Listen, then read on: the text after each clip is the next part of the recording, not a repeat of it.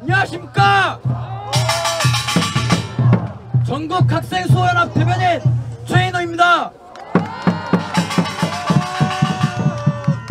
오늘의 학생 혁명의 그날이 오기까지 다들 아시다시피 저는 차디찬 날씨에도 불구하고 인원고등학교 정문 앞에서 텐트를 치고 밤낮을 지새우며 농성을 해왔습니다. 추운 날씨에 차디찬 날씨에도 야외에서 노숙을 하며 차디찬 얼음바닥 위에 몸을 맡겨 잠을 지새우고 일어나는 것은 고통스러웠습니다. 제가 잠을 청하는 시멘트 얼음바닥 사이는 얇은 천 하나뿐이었습니다. 혹시라도 시객이 있을지 모르는 새벽 길바닥은 평온한 잠을 청하기에는 두렵고 적막한 공간이었습니다. 인원고등학교 교장 선생님께서는 제가 자디찬 얼음바닥 위에서 밤낮을 지새우는 동안 JTBC와 오마이뉴스 기자를 따뜻한 학교로 불러서 인터뷰를 하셨다고 합니다.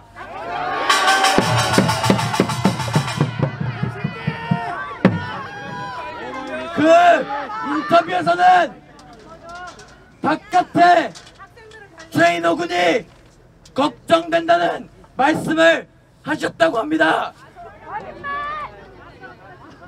저는 이 소식을 교장 선생님께 들은 것이 아니라 교장 선생님의 인터뷰를 마치고 나온 JTBC 기자로부터 들었습니다.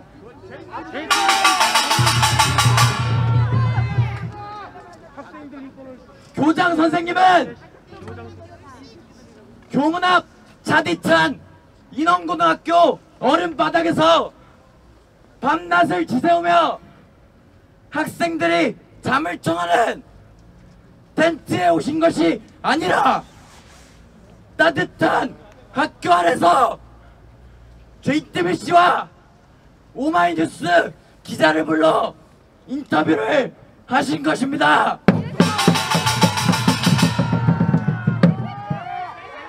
그때의 심정은 교장 선생님은 선생님이 아니라 정치인이었다는 것입니다.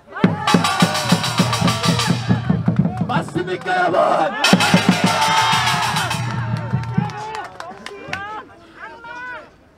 혹한의 새벽을 감수하기로 한 결심은 비단 개인의 오기로 마음먹은 것이 아닙니다. 그들의 가해자 낙인을 굴복하는 것은 저 혼자만의 굴복이 아니라 앞으로 계속해서 나올 제2의 죄도 제3의 죄도 그 죄인호들 또한 굴복하게 만드는 것이라고 생각했습니다.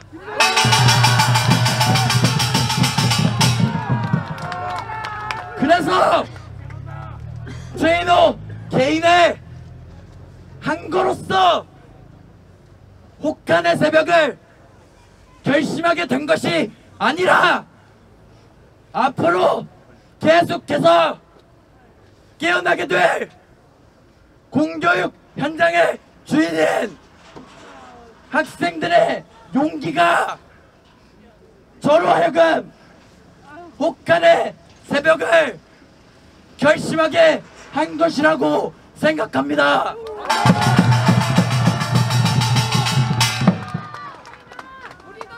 대한민국 공교육 현장을 좀먹는 악의 세력 범 정교조 집단은 앞으로 나타나게 될 저보다 더 세련되고 더 멋질 학생들의 기계를 감히 꺾을 수 없는 것입니다.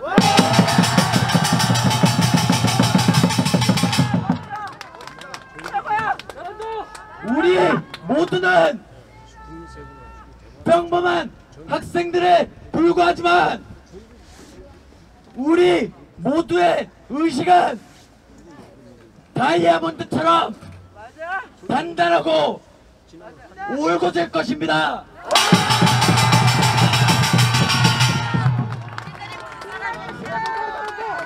오늘은 학생혁명의 그날입니다. 저들은 정치적 권력을 독점하고 학생들의 영혼과 정신을 지배하려고 하고 있지만 오늘 학생혁명의 그날은 그들의 오만 망자하고 위선으로 뒤덮인 범 정교조 집단에 대해 위대한 첫 번째 학생혁명의 발걸음이 될 것입니다.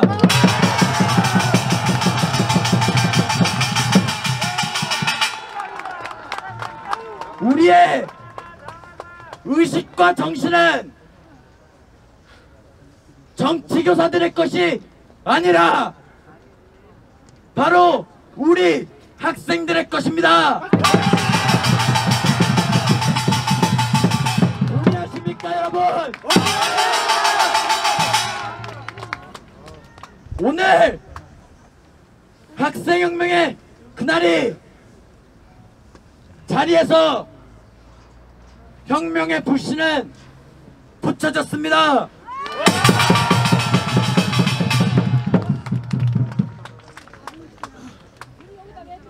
학생혁명의 불씨를 잠재울 수 있는 것은 범 전교조 집단의 완전한 해체뿐일 것입니다.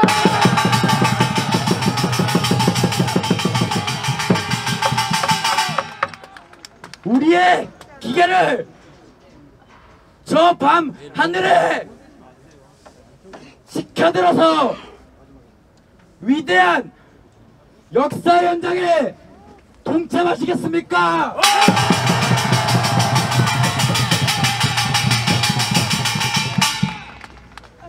썩어 있는 정치 교탄을 타파하여 진정한 학교의 주인이 누구인지 천명해 내시겠습니까?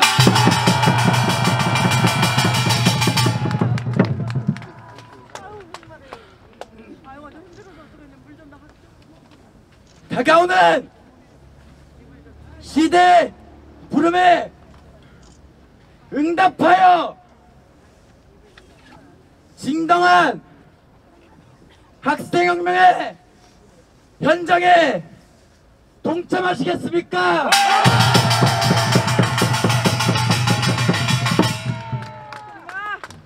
다가오는 시대 부름에 응답하여 자유민주 성평화 대한민국의 옳은 가치를 수호해내시겠습니까?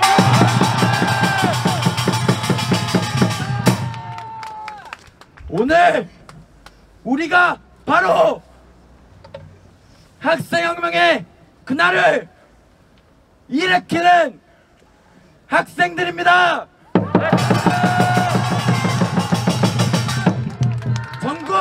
학생 소연합 대변인 최인호였습니다. 감사합니다.